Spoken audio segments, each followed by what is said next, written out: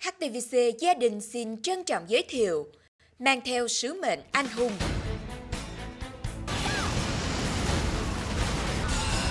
Phục Trần Quốc là sứ mệnh cả đời của ta. Bảo vệ hiên viên kim Cuộc chiến tranh giành quyền lực khốc liệt, ai tìm được thượng cổ ngũ thần khí là có thể trở thành vua của trái đất được hiên viên kiếm rồi sẽ có được thiên hạ những ân oán chốn giang hồ. cha ngươi là do tay giết Muốn cùng muốn ông chết Thì ông vĩnh viễn không được sống ngươi mãi mãi là bại tướng dưới tay của ta